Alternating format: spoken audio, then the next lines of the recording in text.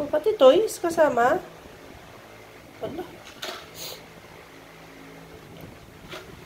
Ang galing mo, Jim.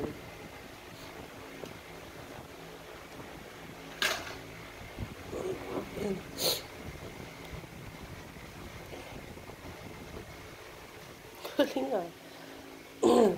Hmm, Sino ba kasi kalat dyan, ha?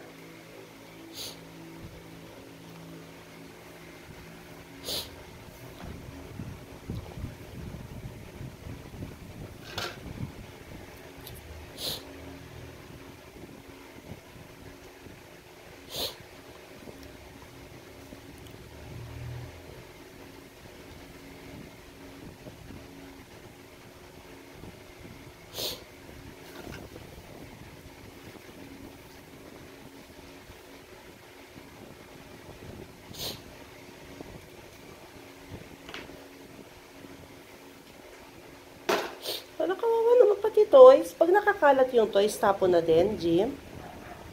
Ha?